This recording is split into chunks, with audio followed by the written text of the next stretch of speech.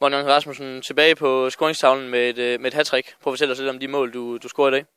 Ja, det første var jo rigtig godt indlæg af Polle, der, der ser jeg går i, i ryggen på forsvaren, og, og så ligesom bare chat den ind. Øh, nummer to er slider skyder på mål, hvor jeg hvad skal man sige, satser på, at jeg kom ind og prikke til den og, og fik gjort det. Og, og så den sidste er igen Polle, der spiller mig ind i feltet, hvor jeg så forventer at sparke den ind. Så det var fint.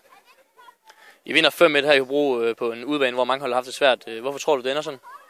Ja, fordi vi spiller en, en rigtig god kamp. Øh, vi spiller, hvad skal man sige, ikke individuelt, men vi spiller som et hold, og, og det gør, at, øh, ja, at vi presser, dem, presser på hele tiden og, og presser frem til, til en del chancer. Så vi spillede en, en god holdindsats i dag.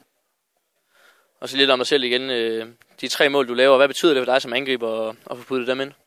Jo, det er selvfølgelig, det er selvfølgelig fedt. Nu har jeg været ude i nogle kampe med, med en skade, og, og fik ikke scoret sidst, men, men så er det selvfølgelig fedt at, at komme ind på banen i dag og få scoret, og så er man ligesom i, i gang igen efter, efter skaden. Og så lige det sidste. 8 sejre i 10 kampe. Hvad kan det her række til? Ja, men det, det har jeg blevet spurgt om mange gange, og det har jeg sagt til dem alle sammen, det er, at hver eneste gang vi går på banen, så går vi på banen for at vinde. Øh, og det vil vi blive ved med, og hvis man vinder hver gang man går på banen, så, så ser det godt ud. Men går jeg og drømmer lidt? Ja, overhovedet ikke. Altså lige nu der fokuserer jeg på den kamp, vi har om 14 dage, øh, og der skal vi have tre point.